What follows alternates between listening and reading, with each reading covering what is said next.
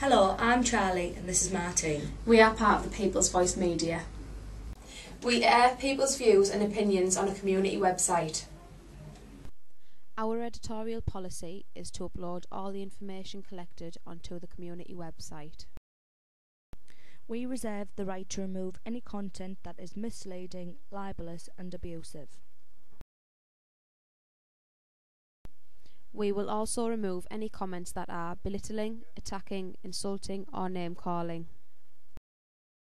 Our aim is to not make an individual or agency look bad. It's all about the community.